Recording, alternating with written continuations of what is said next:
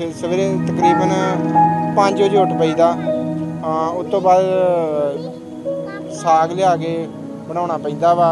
ਤਕਰੀਬਨ 7 ਵਜੇ ਸਟਾਰਟ ਕਰਦਾ ਤੇ ਸਾਗ ਬਣਾਉਣਾ। ਤਕਰੀਬਨ 11 11:30 12 ਵੱਜ ਜਾਂਦੇ ਭਾਜੀ। ਹਾਂ। ਭਾਜੀ ਬੱਚਿਆਂ ਨਾਲ ਬੜਾ ਸਟਰਗਲ ਜੇ ਇੱਥੇ।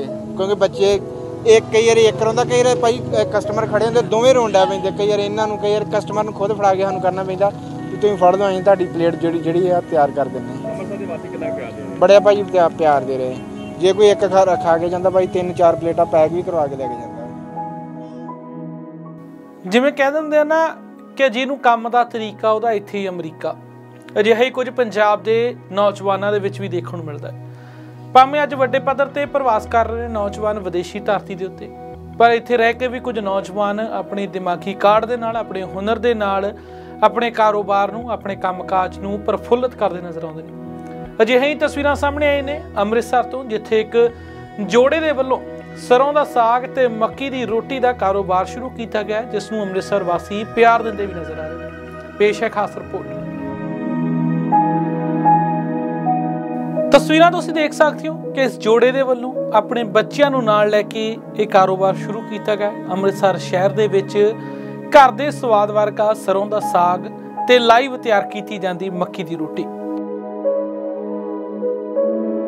ਜੋੜੇ ਦਾ ਕਹਿਣਾ ਹੈ ਕਿ ਕਾਰੋਬਾਰ ਦੀ ਸ਼ੁਰੂਆਤ ਉਹਨਾਂ ਨੇ ਆਪਣੀ ਜ਼ਿੰਦਗੀ ਦੇ ਇਸ ਕਦਰ ਕੀਤੀ ਕਿ ਉਹ ਅੰਮ੍ਰਿਤਸਰ ਸ਼ਹਿਰ ਆਉਂਦੇ ਨੇ। ਜਦੋਂ ਉਹਨਾਂ ਨੇ ਇੱਥੇ ਦਾ ਸਾਗ ਖਾਦਾ ਤਾਂ ਉਹਨਾਂ ਨੂੰ ਘਰ ਵਰਗਾ ਸਵਾਦ ਨਹੀਂ ਆਇਆ। ਤਾਂ ਉਹਨਾਂ ਨੇ ਸੋਚਿਆ ਕਿ ਜੇਕਰ ਸਾਨੂੰ ਇਹ ਚੀਜ਼ ਪਸੰਦ ਨਹੀਂ, ਤਾਂ ਅੰਮ੍ਰਿਤਸਰ ਸ਼ਹਿਰ ਆਉਣ ਵਾਲਿਆਂ ਨੂੰ ਇਹ ਚੀਜ਼ ਕਿੱਦਾਂ ਪਸੰਦ ਆਵੇਗੀ? ਅੰਮ੍ਰਿਤਸਰ ਸ਼ਹਿਰ ਗੁਰੂ ਨਗਰੀ ਆਉਣ ਵਾਲੇ ਲੋਕਾਂ ਨੂੰ ਧਿਆਨ 'ਚ ਰੱਖਦੇ ਲੋਕਾਂ ਨੂੰ ਘਰ ਵਰਗਾ ਸਵਾਦ ਦੇਣ ਦੇ ਲਈ ਇਹਨਾਂ ਵੱਲੋਂ ਇਹ ਕਾਰੋਬਾਰ ਸ਼ੁਰੂ ਕੀਤਾ ਗਿਆ। ਇਸ ਮੌਕੇ ਕੀ ਕੁਝ ਕਹਿਣਾ ਸੀ ਅਮਨਦੀਪ ਸਿੰਘ ਹੁਣਾਂ ਦਾ? ਆਓ ਸੁਣਦੇ ਹਾਂ। ਸਵੇਰੇ ਤਕਰੀਬਨ 5 ਵਜੇ ਉੱਠ ਪਈਦਾ। ਹਾਂ ਉਸ ਤੋਂ ਬਾਅਦ ਸਾਗ ਲਿਆ ਕੇ ਬਣਾਉਣਾ ਪੈਂਦਾ ਵਾ। ਤਕਰੀਬਨ 7 ਵਜੇ ਸਟਾਰਟ ਕਰਦਾ ਤੇ ਸਾਗ ਬਣਾਉਣਾ। ਤਕਰੀਬਨ 11 11:30 12 ਵੱਜ ਜਾਂਦੇ ਭਾਜੀ। ਹਾਂ। ਅੱਛਾ ਦੇਖੋ ਤੁਸੀਂ ਬੱਚੇ ਵੀ ਨਾਲ ਲੈ ਕੇ ਆਉਂਦੇ ਛੋਟੇ ਹਾਂਜੀ ਬੱਚੇ ਵੀ ਨਾਲ ਲੈ ਗਈਦਾ ਭਾਜੀ। ਬੜੀ ਮਿਹਨਤ ਕਰਨੀ ਪੈਂਦੀ ਇਸ ਦੇਖੋ ਭਾਜੀ। ਚੁੱਕ ਕੇ ਨਾਲ ਕੰਮ ਕਰਦੇ ਹੋ। ਭਾਜੀ ਬੱਚਿਆਂ ਨਾਲ ਬੜਾ ਸਟਰਗਲ ਜੇ ਇੱਥੇ ਕਿਉਂਕਿ ਬੱਚੇ ਇੱਕ ਕਈ ਵਾਰੀ ਇੱਕ ਰੋਂਦਾ ਕਈ ਵਾਰੀ ਭਾਈ ਕਸਟਮਰ ਖੜੇ ਹੁੰਦੇ ਦੋਵੇਂ ਰੋਂਡਾ ਪੈਂਦੇ ਕਈ ਵਾਰ ਇਹਨਾਂ ਨੂੰ ਕਈ ਵਾਰ ਕਸਟਮਰ ਨੂੰ ਖੁਦ ਫੜਾ ਕੇ ਸਾਨੂੰ ਕਰਨਾ ਪੈਂਦਾ ਕਿ ਤੁਸੀਂ ਫੜ ਲਓ ਅਸੀਂ ਤੁਹਾਡੀ ਪਲੇਟ ਜਿਹੜੀ ਜਿਹੜੀ ਆ ਤਿਆਰ ਕਰ ਦਿੰਨੇ ਅੰਮ੍ਰਿਤਸਰ ਦੇ ਵਾਸੀ ਕਿੰਨਾ ਪਿਆਰ ਦੇ ਰਹੇ? ਬੜਿਆ ਭਾਜੀ ਪਿਆ- ਪਿਆਰ ਦੇ ਰਹੇ। ਜੇ ਕੋਈ ਇੱਕ ਖਾ ਖਾ ਕੇ ਜਾਂਦਾ ਭਾਈ ਤਿੰਨ ਚਾਰ ਪਲੇਟਾਂ ਪੈਕ ਵੀ ਕਰਵਾ ਕੇ ਲੈ ਕੇ ਜਾਂਦਾ। ਹਾਂਜੀ। ਤੇ ਜਦੋਂ ਕੰਮ ਸ਼ੁਰੂ ਕੀਤਾ ਸੀ ਅ, ਪਹਿਲੇ ਦਿਨ ਮਨ ਚ ਕੀ ਕੀ ਵਿਚਾਰ? ਭਾਜੀ ਮਨ 'ਚ ਡਰ ਲੱਗਦਾ ਸੀ ਵੀ ਅਹ, ਇੱਥੇ ਕੰਪੀਟੀਸ਼ਨ ਅੰਮ੍ਰਿਤਸਰ ਵਿੱਚ ਬੜਾ ਖਾਣ ਪੀਣ ਦਾ ਹੈਗਾ। ਕਿਉਂਕਿ ਕੰਪੀਟੀਸ਼ਨ ਹਰ ਕਸਟਮਰ ਭਾਜੀ ਥੋੜਾ ਜਿਹਾ ਨਾ ਖਾਣ ਪੀਣ ਦਾ ਇੱਥੇ ਬੜਾ ਸ਼ੌਕੀਨ ਹੈ ਕਿਉਂਕਿ ਅਲੱਗ-ਅਲੱਗ ਤਰ੍ਹਾਂ ਦਾ ਖਾਂਦੇ। ਅਸੀਂ ਇਹ ਸੋਚੀ ਸਾਡਾ ਮੱਕੀ ਦੀ ਰੋਟੀ ਸਰੋਂ ਦਾ ਸਾਗ ਪਿੰਡ ਦਾ ਟੇਸਟ ਆ। ਉੱਥੇ ਇਸ ਮੌਕੇ ਅਮਨਦੀਪ ਸਿੰਘ ਦੀ ਸਾਥੀ ਉਹਨਾਂ ਦੀ ਹਮਸਫਰ ਜਸਕਿਰਨ ਕੌਰ ਨੇ ਵੀ ਆਪਣੇ ਕੰਮ ਨੂੰ ਲੈ ਕੇ ਗੱਲਬਾਤ ਕਰਾਨ ਕੀ ਕੁਝ ਕਿਹਾ। ਤੇ ਕੀ ਕੁਝ ਅੰਮ੍ਰਿਤਸਰ ਸ਼ਹਿਰ ਵਾਸੀ ਉਹਨਾਂ ਨੂੰ ਕਹਿੰਦੇ ਨੇ? ਆਓ ਆਪਾਂ ਸੁਣਦੇ ਉਹਨਾਂ ਦੀ ਜ਼ੁਬਾਨੀ।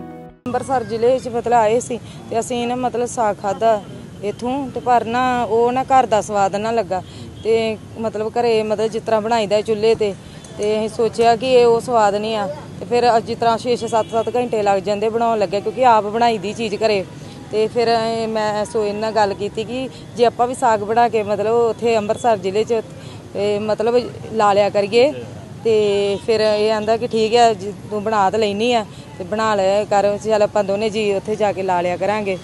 ਫਿਰ ਫਿਰ ਅਸੀਂ ਆਉਣ ਲੱਪੇ ਇੱਥੇ।